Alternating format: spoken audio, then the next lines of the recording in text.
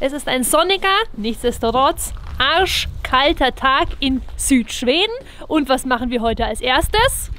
Zum Briefkasten gehen. Obligatorischer Gang zum Briefkasten. Wir haben einen kalten Nordostwind seit bereits fünf Tagen. Ich weiß nicht, ob der tatsächlich aus Nordosten kommt. Und es ist scheiße kalt. Der Briefkasten ist vorne bei unseren Nachbarn. Jetzt werden wir gleich mal sehen, was hier die Distanz zum nächsten Haus ist.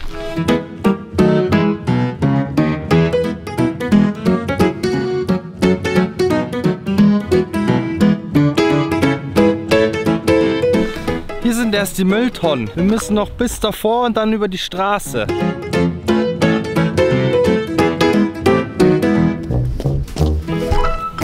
Nichts. Liebes Skattewerkett, ich hätte gerne einen Antrag und zwar, dass Sie unseren jetzigen Antrag ein bisschen schneller bearbeiten.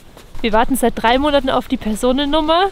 Kann noch weitere drei Monate dauern. Also werden wir noch ganz, ganz oft zu diesem Briefkasten latschen.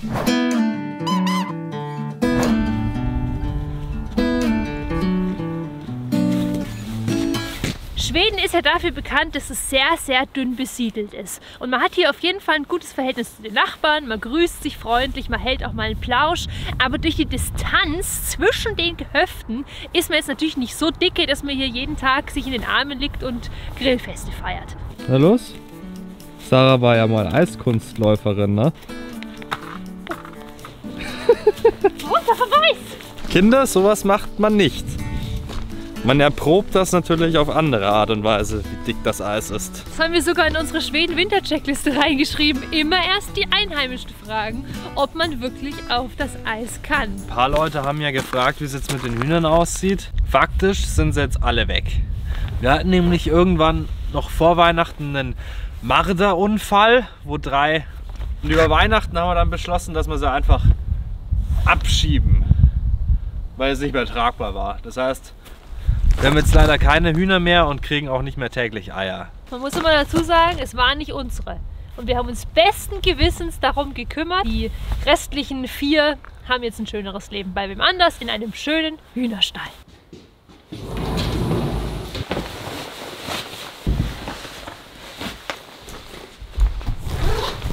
Jetzt ist es 10 nach halb eins. Das ist optimaler Zeitpunkt, um was zu essen. Wir haben ein Care-Package geschickt bekommen von meinem Vater. Da sind all die guten Sachen mit dabei. Und jetzt gibt es Käse. Mich schon mal gar nicht so einsam fühlen, weil wir halt das ganze gute deutsche Lebensgefühl, die gute Wurst, immer bei uns haben.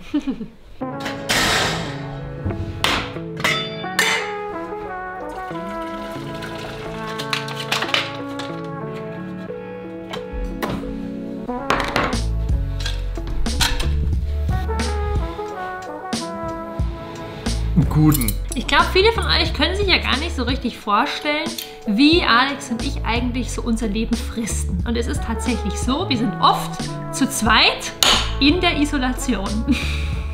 Also sei es jetzt beim Mittagessen Oder beim Arbeiten. Wir sind rund um die Uhr nur zu zweit. Es sei denn natürlich, Familie kommt uns besuchen, aber sonst sind wir immer alleine. Nur er the boss of us. The lonely life didn't choose us, we chose the lonely life. And the tough life. Das heißt, für uns ist es sowieso jetzt keine große Umstellung, in einem Land zu leben, wo nicht so viele Menschen sind und man am Tag nicht 100.000 Leuten über den Weg rennt, weil, wenn ich ganz ehrlich zu euch bin, ich könnte mir für mich persönlich nichts Schlimmeres vorstellen, als morgen in ein Büro zu gehen und 20 Leute zu treffen. Von daher ist dieses ein bisschen Lonely Life, Englisch, Entschuldigung, auch genau unser Ding. Und weil ich gerade die Familie angesprochen habe, wenn man so lebt wie wir, dann ist man natürlich erstmal einsamer, so generell. Aber wenn man die Familie dann wieder besucht oder die Familie besucht uns, dann ist das irgendwie eine bessere Quality Time, als wenn man sich eben jederzeit sehen kann und dann die Zeit aber auch nicht nutzt. So ist es dann immer so geballte zwei Wochen, wo man versucht, alles reinzuklatschen, was halt geht.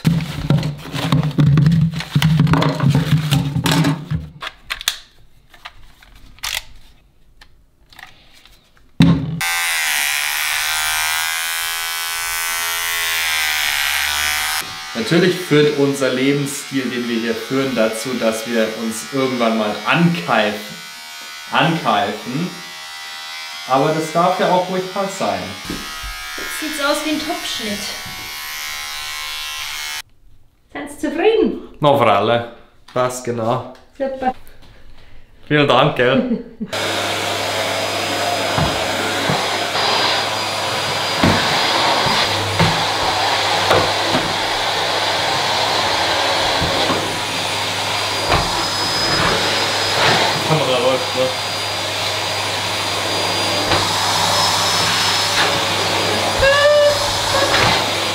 Falls jemand noch was zum Thema Privatsphäre wissen will, ich glaube, das sagt alles aus.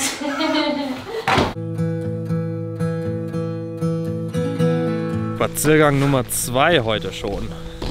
Wir frieren wie die Windhunde. Alle denken immer, Lappland ist das Schlimmste, aber der Witz ist, in Lappland ist nicht so ein Wind und so eine eisige, feuchte Luft. Hier ist es so richtig klirrend, obwohl es gar nicht so kalt ist. Ja, wir haben 2 Grad eigentlich.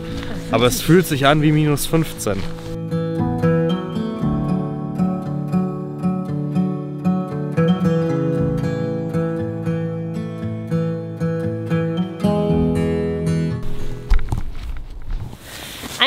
Zuschauern hat uns ja neulich auch mal drunter geschrieben und gefragt, ob wir denn in Schweden schon Bekanntschaften oder Freundschaften geschlossen haben. Ja, wir haben schon schwedische Bekanntschaften, wir haben auch ein paar deutsche Freunde hier kennengelernt, aber wir müssen auch ganz ehrlich sagen, wir haben uns jetzt das letzte halbe Jahr nicht aktiv wirklich krass darum bemüht. Und es liegt einfach daran, wir hatten euch das ja auch schon mal erzählt, dass wir total angefangen haben, mit den Jahreszeiten zu leben. Und Winter ist einfach unsere Jahreszeit, wo wir mehr für uns sind. Also da machen wir unsere Projekte, wir haben ja einen Reiseführer geschrieben, eine Winter-Checkliste für euch. Wir haben angefangen, die Calls anzubieten, die wir jetzt regelmäßig machen. Das ist ja auch alles sehr zeitintensiv. Da rein haben wir irgendwie so ja unsere Energie gesteckt und da hatten wir nicht mehr so wirklich ja, den Elan, jetzt groß rauszugehen und ständig neue Leute kennenzulernen. Aber jetzt, wenn ja wieder der Sommer kommt, da shiftet sich das auch wieder ein bisschen. Man ist draußen, man lernt irgendwie automatisch schon mehr Leute kennen. Man hat da auch wieder mehr Bock drauf auf Social Interaction. Wir wollen auch mal in den Sportverein gehen. Also das kann sich alles entwickeln. Und wir leben immer nach dem Motto, es muss ja nicht alles auf Zwang sein und es ist auch völlig okay, wenn man auch mal eine Zeit lang einfach für sich ist.